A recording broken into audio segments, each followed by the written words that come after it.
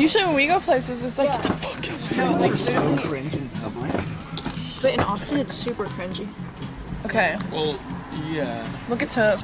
So I got great news. Me and Malena are moving to LA. Oh fuck yeah! You want to you want to live it? with me? You have Yeah. to you have to do the same setup that you did with uh, with soda. You just like And that's the rent? kid out my fucking house and then you can live there. Can you open I can do this? that. Oh, my nails won't let it. What do you want me to open? Just- Oh, listen. I'm useful. Okay, gotcha. You are, dude. I oh I I know your value. Stand. Okay, when you. soda never did. You hear that? You hear that? Did you ever live in No, Austin? Chance knew. Chance was kind. I'm just kidding. No. Ooh.